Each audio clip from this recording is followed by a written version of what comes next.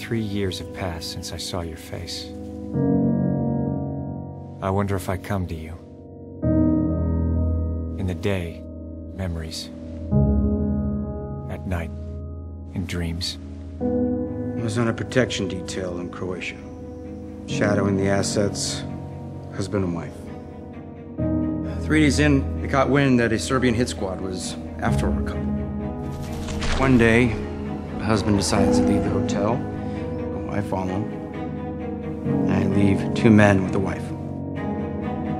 When I get back, my guys are unconscious and the wife is gone. If you can't see what's going on, or if you just don't want to, he has some serious problems that he's tried to bury down there. Reggie, come back to reality, please. I can't protect you. I am a field agent. I know the risks. Unconstructed dream space.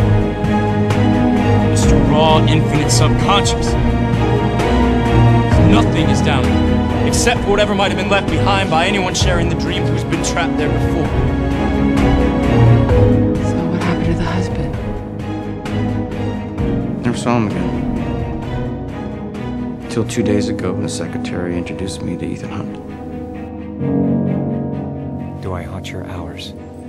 The way you haunted